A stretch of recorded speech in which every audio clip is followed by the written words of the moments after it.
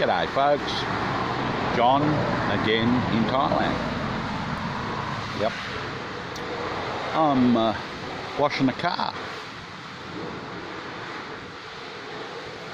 Yeah, really, I am. I'm washing the car.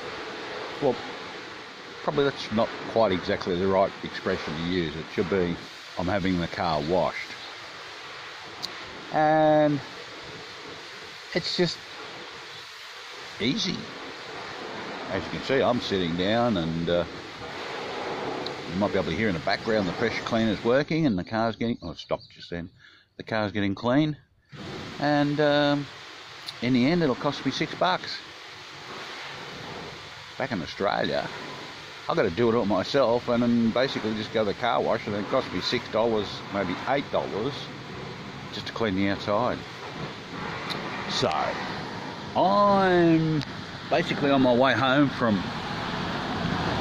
a place called Wang Sai. And this is a little car wash place out in the middle of nowhere.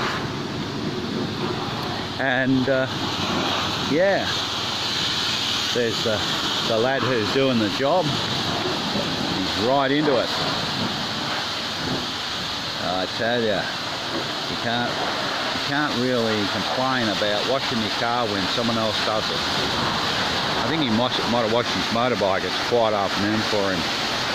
Uh, it's all nice and clean in there. But my pickup's been at the mechanics.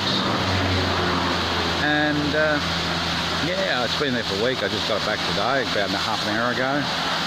So now I'm uh, having it cleaned and then I'm going to go home. Do nothing for the rest of the day. Well, I clean the car, I suppose you could say I'm doing nothing. All right then, well, it's a short one. Have a good day, folks. Bye.